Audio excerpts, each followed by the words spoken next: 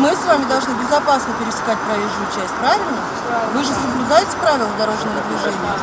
И когда мы переходим проезжую часть, мы должны подождать, когда все у нас машины остановятся.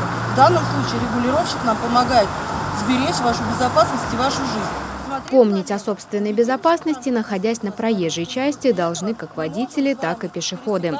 Уже по традиции инспекторы ГИБДД провели тематическую профилактическую акцию «Пешеходный переход», в рамках которой они в очередной раз напомнили гражданам правила дорожного движения. Знания и соблюдение их помогут сохранить жизнь и здоровье. Мероприятие прошло вблизи пешеходного перехода около Щелковской школы номер 8.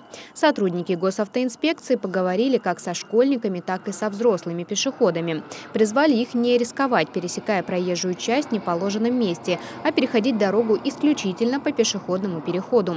Помогали раздавать гражданам информационные буклеты с ПДД участники военно-патриотического объединения «Кобальт» и клуба «Каскад».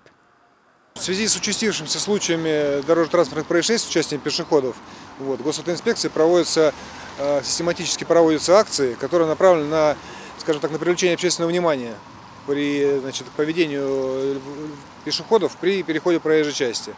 Самой уязвимой группой граждан являются дети и пожилые люди. Они часто не смотрят по сторонам, переходя дорогу. А это необходимо делать обязательно, даже при условии, что вы пользуетесь пешеходным переходом. В преклонном возрасте у людей замедлена реакция, а также могут быть ослаблены слух и зрение. Молодежь должна помнить, что необходимо снимать капюшоны, вынимать наушники и использовать световозвращающие элементы в темное время суток. Это особенно актуально в осенне-зимний период.